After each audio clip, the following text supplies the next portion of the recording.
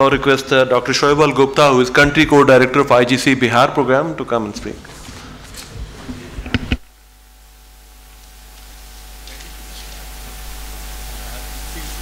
for governments and stakeholders who do not have uh, access to first class researchers. The IGC being located in LSE and at Oxford with its network spread across the world was available for this purpose and it was the country team which had to identify the appropriate person for the job at hand.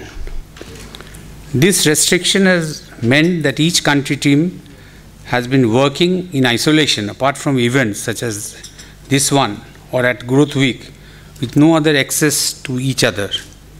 While this approach was useful at first, when IGC was taking the few first steps, in phase two we need to identify and define a broader area of interaction. For this purpose, the IGC and the conferences such as this could in fact play a major role. I think the Honorable Minister has already set the agenda, and there should be a concerted effort for better Indo-Pak relationship. Any growth process or path to be meaningful must satisfy the twin properties of being inclusive and sustainable. The first means that no individual or class should be let, left out from sharing the fruits of growth, while the second term implies that no future class or generation should be discriminated against in the sense that the choice available before them should be no less than what is available to us. A moment's reflection should convince people that both of these terms imply similar things. First, there should be no discrimination in the sense that no one is left out from enjoying the fruits of growth. Currently, nor should there be any discrimination against any future generation. Thus, for growth process to qualify for being desired, some pretty stiff conditions need to be ensured. What has been observed of late is that while growth has taken place at hitherto unexpected rate, it has not been inclusive. Witness, for example, the rising inequality. Thus, there are people who are being left out. It is clear, therefore, that such process will not be sustainable, either given the scant interest we are paying to the maintenance of environment in pursuit of growth. As a result of grow- growth leading or perhaps being accompanied by inequality, tension in societies have been witnessed on unprecedented scale. It all began with Tunisia and then traveled across the globe. It is not as if this was restricted only to countries generally clubbed under the rubric of developing countries, but this unrest manifested itself in the US as well as in the Occupy Wall Street movement. Such points of conflict, unfortunately, are still there. Just prior to this show of discontent, the collapse of the financial system, sometimes referred to as the financial crunch, was the first shock government decided to bail out Uh, banks, a rather unpopular decision in the first place. On the other hand, in developing countries, huge scams and frauds have continued to surface from time to time. That it appears that policymakers have already been discredited for one reason or another. The entire world order, financial, economic, and social, was shaken. On the other hand, the market had apparently failed, and on the other, the state too have failed for different reasons in different countries.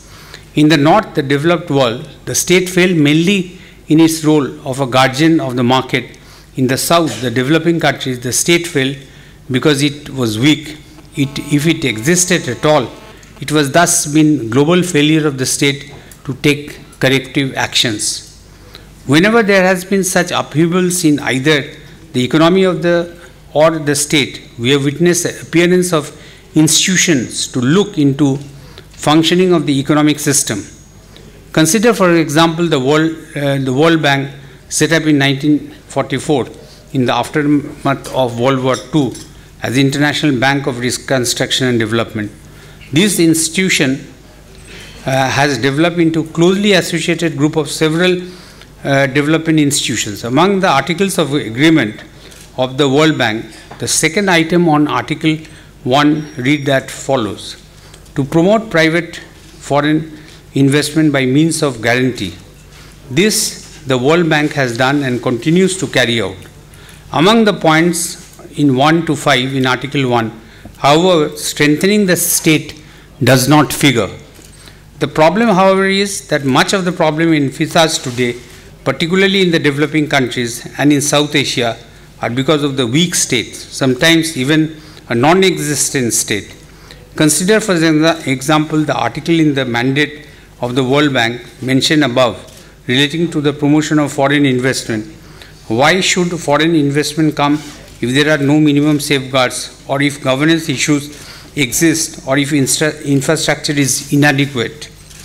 These issues need to be carefully examined. Accordingly, there is no need for the existence of an institution which helps strengthen the state according to each state's need. The International Growth Center is admirably placed to carry out this task, and given its location within LSE and Oxford, one can ask for better uh, pedigree. Particularly, the objective of carrying out demand-driven research meets this uh, meet this purpose. In the context of South Asia, many of the problems that the state faces are same. There are some which are distinct, of course. Consequently, carrying out joint programs of research targeting the common problem will not only provide us with deeper insights but also develop the synergies from our studies. This would also contribute towards the strengthening of the state. In addition, this activity of strengthening the state will be complementary to the World Bank's activities as well.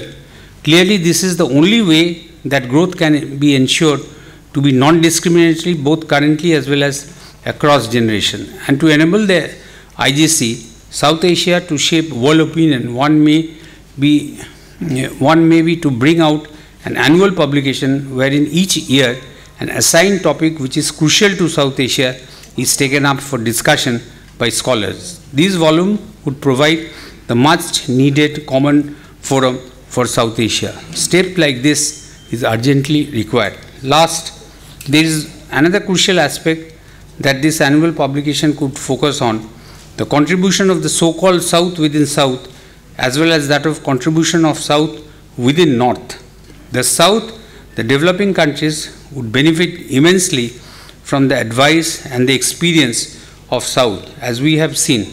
It is first of all much more convincing to see people in similar situations overcome similar difficulties, and more importantly, it is the source of hope that difficulties which appeared insurmountable may be in fact overcome.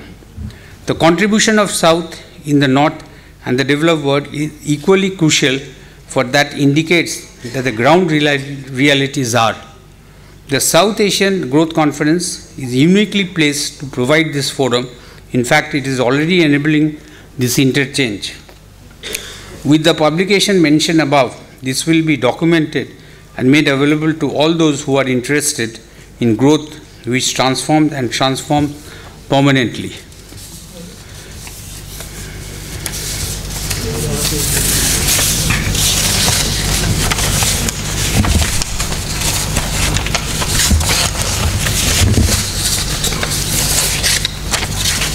I am sure that there will be more views placed on the table for our consideration but if we can go back from Lahore with some accord on the above, we should feel satisfied that we have taken an important first step.